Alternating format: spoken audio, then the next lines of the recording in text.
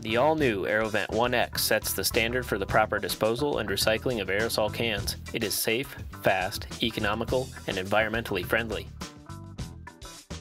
The AeroVent 1X operation is as simple as 1, 2, 3. 1. Place the aerosol can in the AeroVent 1X and close the lid with a convenient locking clamp. This automatically seals the chamber and punctures the aerosol can at the same time. 2. Wait until the filter's Visball check valve stops bouncing, usually 5 to 15 seconds. This indicates the system has been depressurized and is safe to open. 3. Remove the processed can. It's that simple. The can now qualifies as scrap metal and may be disposed of or sold as recycled metal.